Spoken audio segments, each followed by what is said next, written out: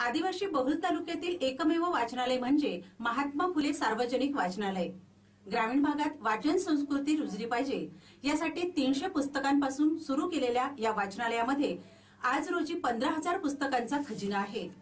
या वाचनालयाला स्पर्धा परीक्षेच्या विद्यार्थ्यांसोबतच वाचकांची मोठी पसंती मिळत आहे.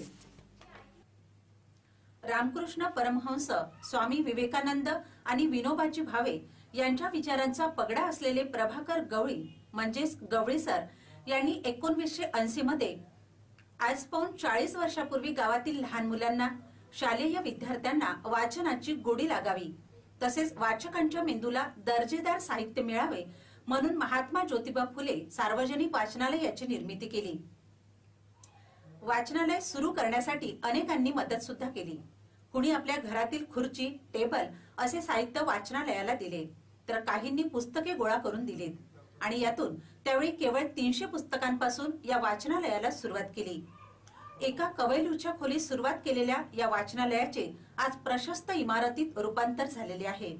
या चाळीस वर्षाच्या कालावधीत पंधरा हजारपेक्षा जास्त वाचकांसाठी पुस्तके उपलब्ध आहेत. यात शेतीविषयक कथा कादंबरी आत्मचरित्र कविता संग्रह बाल साहित्य महिलांसाठी स्वतंत्र कक्ष यासह स्पर्धा परीक्षेचा अभ्यास करणाऱ्या विद्यार्थ्यांसाठी व्यापक प्रमाणात पुस्तके आहेत. ग्रामीण भागात वाचन संस्कृती रुजली पाहिजे या उद्देशाने महात्मा फुले सार्वजनिक वाचनालय सुरू करण्यात आले होते. त्याची आज फलित होत आहे. गावात मुले पुस्तकं वाचून अधिक प्रगल्भ झाली आहेत. वाचाल तर वाचाल हेच या वाचनालयाचे ब्रीद वाक्य आहे. काळ बदलत गेल्याने वाचनालयातही बदल होत गेला.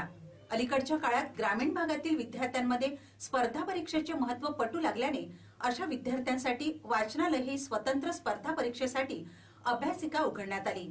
याच ठिकाणी सर्वे स्पर्धा परीक्षेची पुस्तके विद्यार्थ्यांसाठी उपलब्ध करून देण्यात आली. भविष्यात विद्यार्थ्यांना मार्गदर्शन मिळावे यासाठी मोठ्या अधिकाऱ्यांचे मार्गदर्शन कार्यक्रम घेण्याचाही मानस वाचनालयाचा आहे. वाचनालयाचा वाढता आलेख बघता शासनाने वाचनालयाला जागा दिली. आणि याच जागेवर ज्ञान संस्कृतीच्या वाचनालय नावाचा मंदिरात बालकांना विद्यार्थ्यांना वाचकांना दर्जेदार साहित्यरूपी प्रसाद मिळत आहे. मी म्हणजे इथे रोज सकाळी येतो. सकाळी म्हणजे तसं दिवसभरच असतो. म्हणजे अभ्यास करायला घरून ब्रेकफास्ट करून येतो. आणि मग बसतो इथे.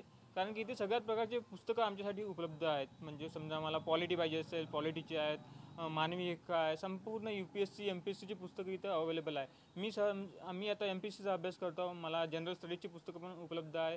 आणि नुकतीच मला आता पॉलिटीची गरज पडली होती जी मला आत्ताच दादांनी उपलब्ध करून दिली आहे एल लक्ष्मीकांतची. सोबतच मला आपण कधी कधी अभ्यास करता करता बोर पण होऊन जातो. म्हणजे तेच तेच अभ्यास पॉलिटी आणि सिव्हिल सर्व्हिसेसचा तर काही वेगळं म्हणून इथे क कादंबऱ्या पण उपलब्ध आहेत.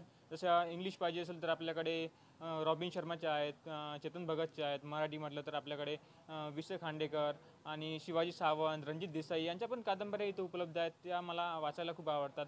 म्हणजे कसं आपण एक प्रकारचा अभ्यास करत गेलं तर थोडं रिलॅक्स पाहिजे आणि ते कादंबऱ्यामधून आम्हाला थोडं आपण रिलॅक्स पण होतो.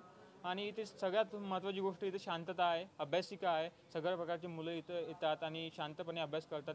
मी बऱ्याच वर्षापासून या वाचनालयाचा वाचक आहे. आणि मला वाचनाची पहिलीपासून आवड असल्यामुळे या वाचनालयात मी नियमित येत असतो. आणि इथे आल्यानंतर मला वेगवेगळ्या प्रकारची वृत्त वृत्तपत्रे वाचायला मिळतात. आणि बऱ्याचशा कथा आणि कादंबऱ्या या मी रोज वाचायला इथून घरून घेऊन जात असतो.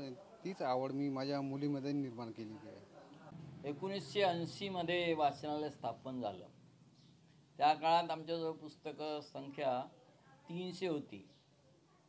ती आज वाढत वाढत पंधरा हजारच्या वर गेलेली आहे. अनेक मासिकं आहेत.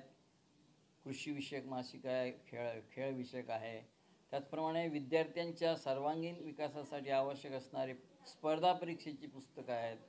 कथा कादंबऱ्या नाटके यांचा भरपूर साठा आमच्याकडे आहे. आणि लोकांचा प्रतिसादही आम्हाला चांगला मिळतो आहे. एक गावात वाचन संस्कृती वाढवण्यासाठी जी सुरुवात केली तर काय वाटतं गावामध्ये वाचनालय फार पूर्वी होतं परंतु मधल्या काळात ते बंद पडलं. त्यानंतर इथे वाचनालय नसल्यामुळे मला असं वाटलं की आपणही एखादं वाचनालय सुरू करावं.